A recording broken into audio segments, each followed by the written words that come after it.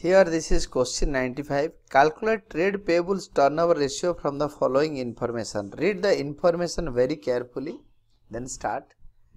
Trade payables or creditors turnover ratio is equal to net credit purchases upon average accounts payables.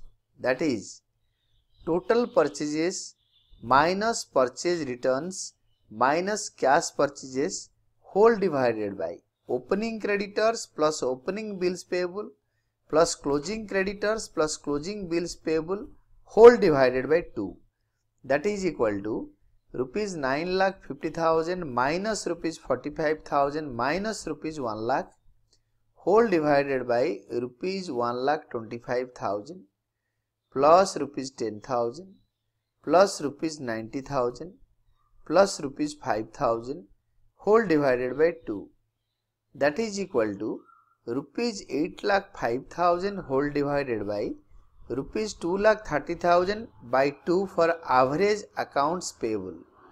That is equal to rupees 8 lakh 5000 whole divided by rupees 1 lakh 15000 that is equal to 7 times.